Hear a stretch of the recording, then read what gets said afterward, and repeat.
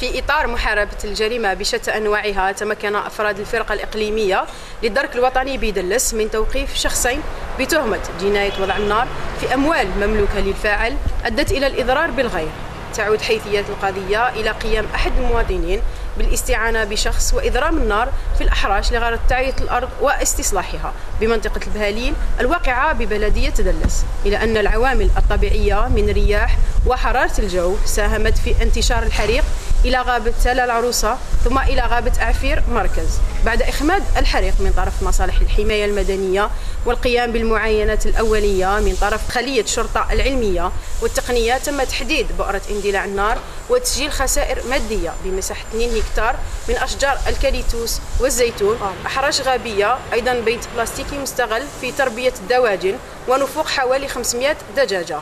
تم تقديم الموقوفين أمام الجهات القضائية المختصة بعد الانتهاء من مجريات التحقيق.